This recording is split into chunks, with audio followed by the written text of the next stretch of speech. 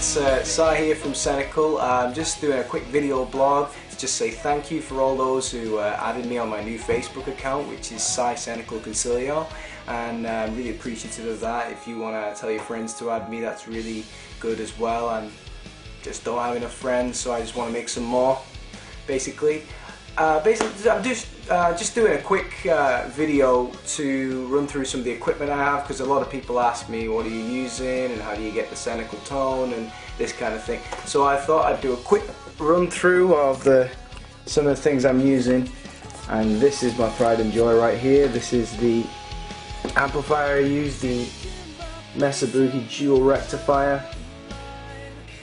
This is where all the sounds come from obviously. These six uh, control the clean channel.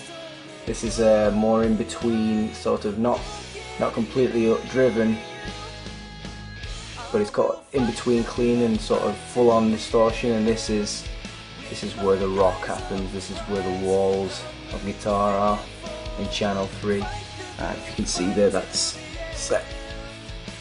That's set to modern which is that modern tone that we have on our sound. We got a solo output which you control with a pedal which is like a boost for if you're doing a, a solo um, and obviously the output is the master, the volume. Um, I'm going through a Marshall 1960 cab, a standard Marshall cab.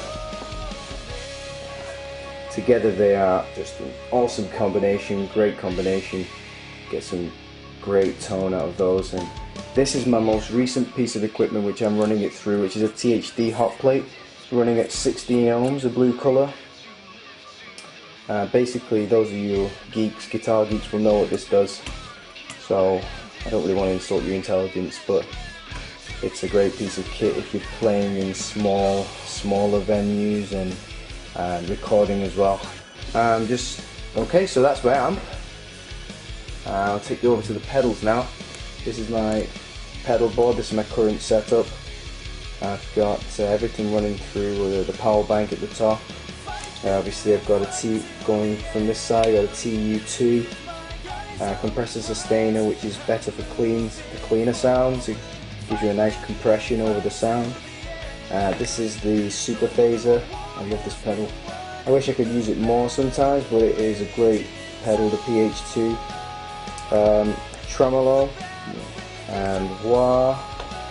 And I know you're probably thinking why does he have a mega distortion in there? Well it's it's not my overall sound. It's it's more of a a far out sound. It's more of like when the guitars dip in volume and um, give that far out guitar sound. This is the super chorus. Um, sounds a bit 80s actually when you when you play it and this is my favourite pedal at the moment, the Digital Reverb. I, I really like this pedal, I really like uh, the reverbs on it there, the RV5. And I love this pedal as well, Digital Delay, you can do so much on it. I mean, I, I use this setting at the moment, but there's so much you can do on it. Uh, it's just got so many controls which I have explored just messing around but haven't bothered with uh, live yet. And the guitar I'm using is my seven year old Fender US Series Telecaster. Uh, I'll tell you, it's US Series you see there made in USA. Now a lot of people say, wow, it's a funny guitar to have through this setup, but I'll tell you what, the sound you get from the from the Mesa and this, it, it's a great guitar. It's so versatile. We're doing alt rock sounds on it and it's it's great for all sorts of styles and it's really good for what we're doing. And that's about it. So so yeah that's uh, all my equipment. If you have any questions obviously just feel free to post on my wall just ask what I'm anything else that I might have missed. I think I covered everything.